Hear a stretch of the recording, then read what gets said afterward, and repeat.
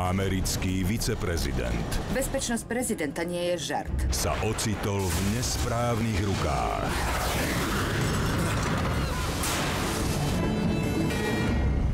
Lietadlo s viceprezidentom sa asi zrútilo do Pacifiku. Jej prácou je Kindo! zachrániť ho.